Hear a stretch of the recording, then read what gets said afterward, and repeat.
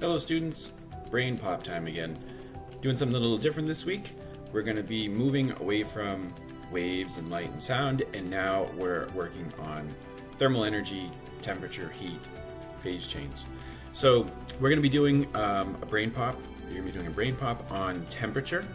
So you're going to go to the website, the brain pop uh, website, use the username and password that is in the agenda, and then I will show you what you're supposed to do when you get there.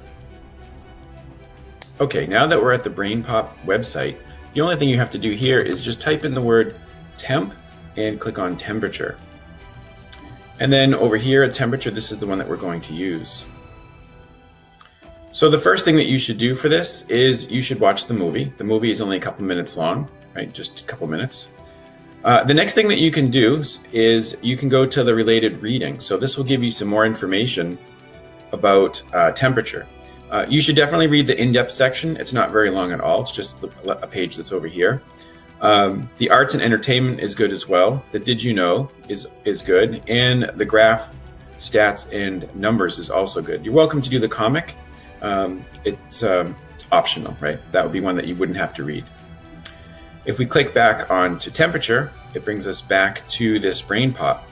Uh, there's a worksheet that you should also fill out about different temperature is this temperature greater than, less than, or equal? And then there's a question regarding what happens with these two balloons when you put them in the refrigerator for an hour. There's a space down here for you to write your answer.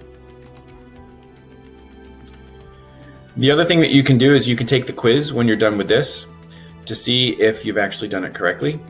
And when you do the quiz, you can do the review part of it or you can do the graded. It doesn't matter. If you do the review one, it gives you a little bit more options of seeing what the answers are as you're progressing through the quiz. And then lastly, the part that you're going to turn in is this graphic organizer. So if we click on the graphic organizer, it's very much like the other one that you've done, where we've got our, our temperature here, and then we've got these other topics that are related to temperature, and then you can fill in your answers as you're working through this brain pop. So that's it. There you go. Uh, very simple to do.